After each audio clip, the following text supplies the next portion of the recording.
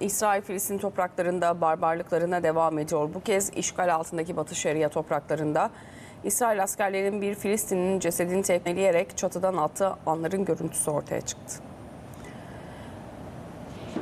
İsrail askerleri Batı Şeria'nın kuzeyinde bulunan Cenin kentinin Kabatia beldesine baskın düzenledi. Baskında bir evi kuşatan İsrail askerlerinin saldırısında 3 Filistinli öldü. İsrail askerleri 3 Filistin'in cenazesini bulundukları evin çatısından aşağıya attı. Sosyal medyada yer alan görüntüde 3 İsrail askerinin ölen Filistinlilerin cenazelerinin bulunduğu binanın çatısında olduğu görülüyor.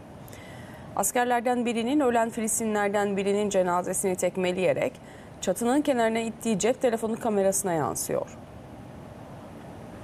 Görüntü tanıkları, görgü tanıkları ayrıca Filistinlerin naaşlarının İsrail'e ait buldozerlerle olay yerinden götürüldüğünü aktardı.